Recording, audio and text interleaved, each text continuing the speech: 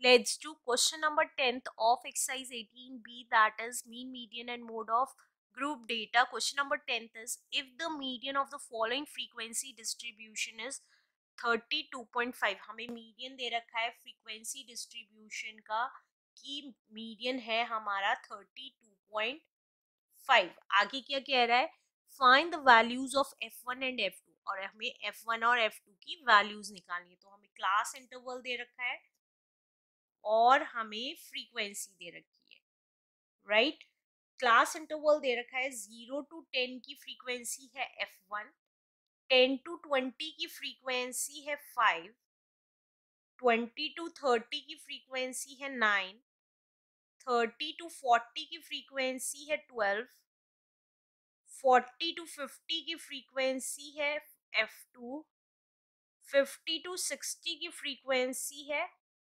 Three sixty to seventy की frequency है two और हमें नीचे टोटल दे रखा है, ये हमारा इन सब का टोटल है फोर्टी राइट तो कैसे करेंगे?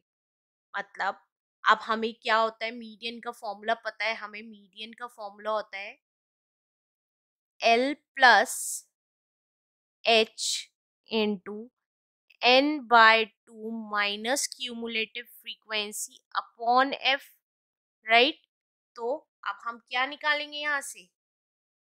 क्यूमुलेटिव फ्रीक्वेंसी निकालेंगे। तो पहली क्या हो गई? एफ़ वन हो गई।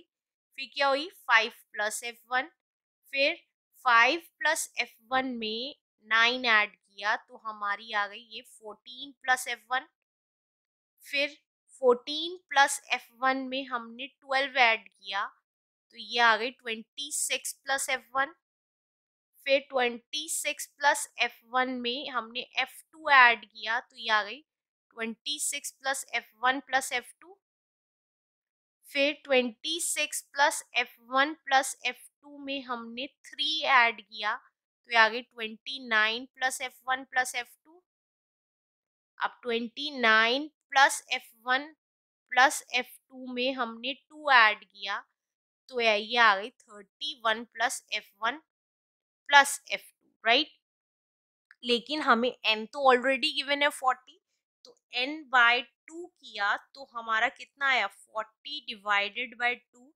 that is twenty आया। अब हमें मीडियन पता है थर्टी टू पॉइंट फाइव है तो थर्टी टू पॉइंट फाइव यहाँ लाए करेगा राइट तो हमने एन बाय टू निकाल दिया मीडियन हमें पता है लोअर लिमिट हमें पता चल गई थर्टी है, और हमारी फ्रीक्वेंसी पता चल गई ट्वेल्व है और क्यूमुलेटिव फ्रीक्वेंसी हमें पता चल गई that is fourteen plus F one है। दैट्स इट अब हमें मीडियन हमें पता है थर्टी टू पॉइंट फाइव है। एल हमारा आ गया थर्टी प्लस एच हमारा निकालना रह गया था। एच है हमारा टेन तो ten into n two n by two कितना है हमारा? ट्वेंटी आया। क्यूमुलेटिव फ्रीक्वेंसी कितनी आई? 14 प्लस एफ़ तो हम इसको बिगर ब्रैकेट बना देंगे और इसको मिडिल ब्रैकेट और अब हम स्मॉल ब्रैकेट में काम करेंगे that is 14 plus f one लिख के राइट अब हमने क्या किया? अपॉन एफ़ एफ़ कितना था हमारा? 12 राइट right? अब ये इधर आ गया तो 32.5 minus thirty equals to ten into अंदर का ब्रैकेट सॉल्व कर दिया that is twenty minus fourteen minus f one upon twelve तो ये आ गया two point five equals to ten into six minus f one upon twelve आ गया। अब ये इधर चला गया, ये नीचे आ गया तो two point five upon ten into twelve equals to six minus f one तो ये कितना आया? पॉइंट हटाया इंटू टेन और हो गया। Five fives twenty five five twos ten two ones two two sixes twelve five ones five five twos ten two ones two two threes six तो ये आ गया three equals to six minus f one अब f one इधर ले आई तो F one positive हो गया और ये थ्री इधर ले आई that mean six minus three तो कितना आ गया? थ्री आ गया।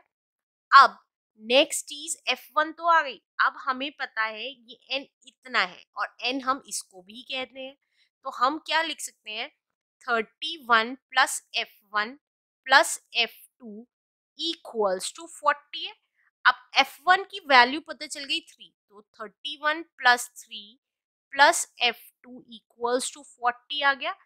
तो ये कितना आ गया? Thirty four plus f two equals to forty f two कितना आ गया हमारे पास? Forty minus thirty four that is six is the answer